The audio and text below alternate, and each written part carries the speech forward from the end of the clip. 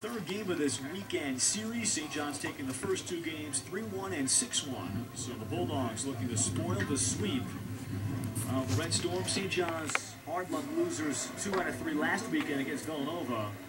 They were in position to sweep that series away from the Wildcats, but they dropped the last two games both by a run and as the defense let them down.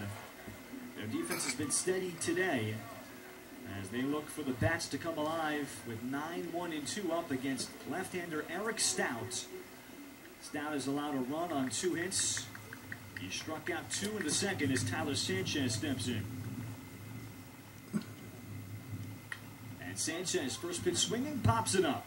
On the infield, the first baseman, Wojciechowski. And there's one away.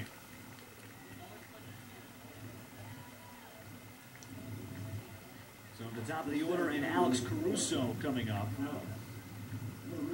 Today for Butler, they do have the majority of their bullpen available. They're not as deep in the bullpen as Steve Farley would like, but they have an excellent closer in Billy Lang. He is hoping to get a deep start today from Stout.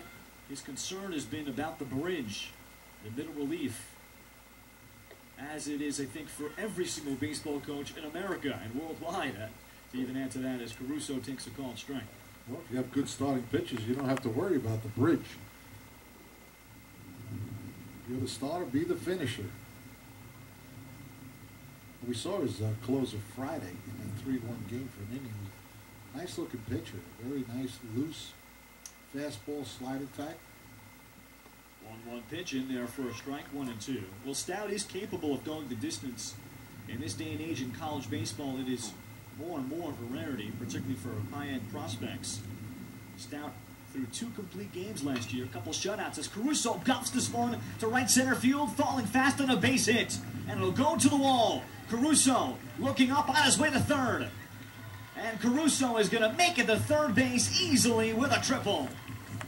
Well, he got a hold of that low inside fastball and really turned on it. Good front arm action. Drop dropped, dropped that front arm right on the wall. That was a good solid shot. Alex Caruso, a double to center and a triple to center field. He's aboard with one out. You see a strong front arm. He got that bat head through pretty quick. Took it all the way to the wall. And that's a beautiful slide. And he pops up three bases. So now Brett Dennis. Butler brings the infield in expecting a bunt. And Stout deals off the plate. Or I'll even add to that to looking to cut the run off at the plate. Butler plays a lot of halfway defense. They play in a lot. They're not conceding runs. Dennis lays off the 1-0 pitch. So it's a two ball, no strikeout. Third hit for St. John's. And they look for the equalizer. 2-0 to Dennis, and he got a good pitch, fouling it straight back. He got his pitch right there. Yeah. I don't, I'm pretty sure Coach Blankmeyer is going to play contact middle here with their shortstop and the second baseman. Got to have good reactions. Take his primary lead as far as the third baseman will give you. And Dennis goes right back up the middle, a base hit to tie the game. Infield in, back, or in the outfield. That one was getting through. It's 2-2. Yeah. Well, the main thing is Brett Dennis stayed in the middle of the field. That was the key to an RBI. It did sneak through for a hit. Shouldn't say sneak. Was hit, ball, hit the ball pretty hard. But uh, that's the right direction where they hit the baseball there. So Brett Dennis, in his bid to become the everyday DH, drives in his ninth run of the year. He makes his presence felt. You can see why the infield was in there. Good clutch RBI. Now Robert Wayman, with Dennis aboard at first, takes a called strike. So St. John's has tied up the game. And Eric Stout giving up the triple to Caruso. The big hit so far in the inning and still just one out. And Stout will throw over. St. John's has not had to run much in this series. They've had 18 hits through two games. But on Saturday, they left nine aboard. even scoring the six runs. So they've had plenty of opportunities for runs against Butler pitching. They ran a few times, but it was more hit and runs where the ball was in contact. Wayman lifts it to right field. Austin Miller will have it. Able to retreat back to first base is Dennis. So there's two away. And it'll bring up Matt Harris. What I mean by that, so it didn't show up as attempted stolen bases, but they did try to run, I would say four or five times so far this weekend. So here is Harris. He cued a single down the third baseline his first time up to drive in a run. There goes Dennis. The pitch swung on and missed. Thrown out to second is off the glove of the shortstop Capone, and Dennis is in there with a stolen base. So the second stolen base of the day today for St. John's through three innings. Well, they're trying to take advantage a little bit of the catcher. Um, Stout's time isn't too bad. It's uh, you know going to, to home. They're taking advantage of the arm strength. I mean, game three, your arm isn't as strong as it was Friday night. That's for sure. Harris with another RBI opportunity.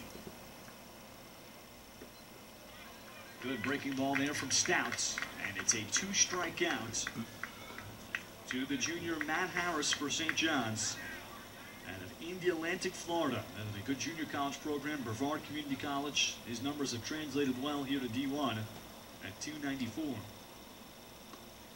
the 0-2 pitch is Amador goes out and gets it.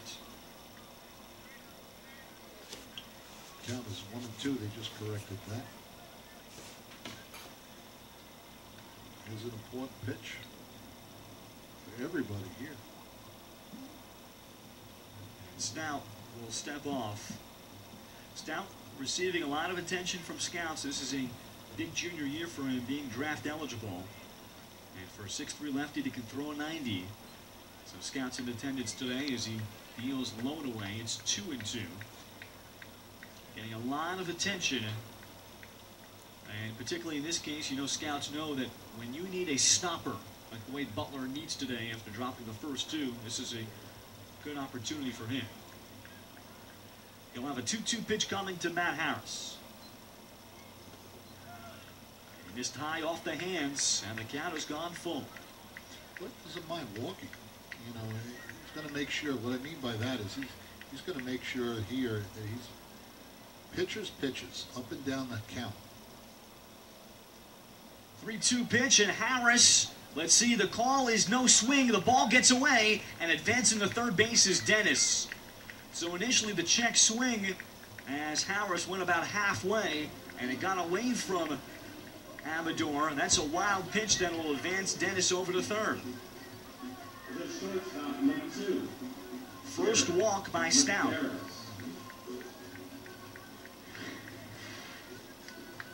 Jared Medeiros here is coming up. You can see he alertly takes third base.